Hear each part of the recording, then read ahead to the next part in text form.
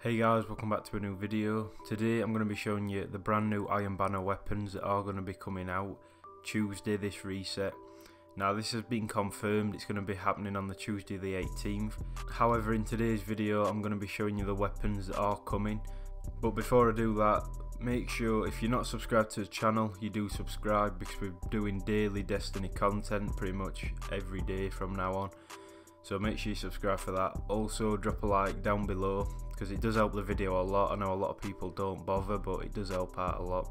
And also comment any ideas you've got or your opinions on these weapons. So let's just jump straight into it. So the first weapon we're going to be looking at is the Bite of the Fox. It's a legendary sniper rifle. It's got aggressive frame and box breathing. That's the standard perks, however I do believe you can change these like with the random rolls. The impact seems good, the range seems good, the magazine's free, the rounds per minute 72. I mean to be honest snipers it don't really matter which one you use, it's going to be a one shot headshot and a two body shots anyway. So it shouldn't really matter but that is the sniper for Iron Banner. So let me know your opinions on that down in the comment section. Just pause the video if I'm going too fast as well, just so you can look at the stats and anything you need to look at. And we'll jump straight into the next gun. So the next weapon we're going to be looking at is the Claws of the Wolf. It's a legendary again, I mean all these weapons will be legendary because it's Iron Banner. However, a few people were speculating that there would be an exotic, but it doesn't seem to be that way. So this is a pulse rifle. It comes standard with rapid fire frame and outlaw. The range is okay, stability is okay. Personally, I think this is one of the greater Iron Banner weapons that is coming. Hopefully I can get my hands on this, but I might not be able to. So if I can't, I'm going to try and make a video on this in the future. But it does look pretty good. The rounds per minute is really high at 540. The magazine's currently at 34. So I mean that's decent. Outlaw's a good perk. Rapid fire frame's a good perk. And don't forget you can get random rolls, so you could get kill clip, anything like that, and it'd make the gun a lot better.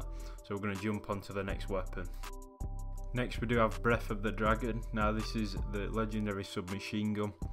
Now the impact is pretty low, the range is pretty low, the stability is okay for an SMG, the handling's pretty good, the magazine size is average I'd say, nothing too special, but the rounds per minute is 900 which is a really good fire rate. So it's got lightweight frame, superb handling, move faster with this weapon equipped, and also it does come standard with kill clip which is excellent. Obviously if you can get kill clip I can see this weapon becoming really good and it's definitely something you should be looking out for while playing Iron Banner.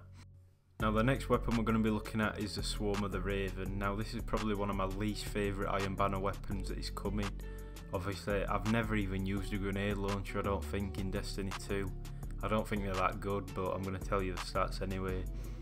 It's a legendary like all the others. Grenade launcher. Stability's okay but I suppose none of these stats really matter. Velocity is 54, blast radius is 15, aim assistance is 27, recoil direction 63, weapon size 31 and zoom 13. Now it does have quite a big mag which is, I guess is the only good point to this weapon, an aggressive frame but I can't really comment on grenade launchers because I don't use them anyway so I wouldn't know what to say. So that's it for this weapon, I just thought I'd show you it anyway. The next weapon we're going to be looking at is the Roar of the Bear which is the rocket launcher. Now this is probably the second favourite one I'm looking forward to. Obviously I do like to use rocket launchers in PvP and also PvE. However this one is perfect for me. I love cluster bomb perk and hopefully that does come as standard and I do get that perk. But the stability, handling, reload speed, velocity and blast radius is good. And I mean everything on this weapon is good apart from one thing which is a magazine. Now that is the only thing that lets it down because it is one However, if it is that good and the stats do show, I'm sure it wouldn't really matter in PvP. But obviously in PvE, I think there would be better options. But let me know what you think on this weapon. Hopefully it will be as good as what it says on the stats. Let's jump straight into the next weapon. The final weapon we're going to be looking at is the Talons of Eagle. Now this is a scout rifle. However, it is quite a decent scout rifle to be honest. I mean, personally, I don't really like scout rifles in PvP, but the impact's good, the range is good, stability lets it down. However, with a few varied perks, I think you can boost this up quite a bit. Maybe Zen Moment, something like that would really help it. Aim assistance is 30, recoil direction 71, weapon size 59, and zoom 21, which is all standard. The magazine is decent for a scout rifle. I know the Jade Rabbit does hold 10 and I personally I don't think that's enough. However, this is sort of similar to the Jade Rabbit.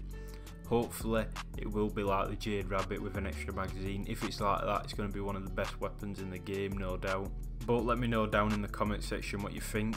Unfortunately, there's not an Iron Banner hand cannon. Now, I am disappointed in this because hand cannons are one of my favourite weapons. However, they don't seem to have brought one out this Iron Banner, but that doesn't mean they're not going to bring one out in the future. Hopefully they do bring it out. Also, they've not done an assault rifle, so and a shotgun, anything like that. So I think in the next Iron Banner after this one, they will bring the other variants out, such as assault rifles, hand cannons, and hopefully we can get a good hand cannon. But let me know what your thoughts are on this video. If you guys are new to the channel, make sure you do subscribe. Drop a like down below because this is the first news that we have had and I've reported it pretty much before everyone else. So if you could drop a sub, I'd appreciate it a lot. And I'll catch you in the next one.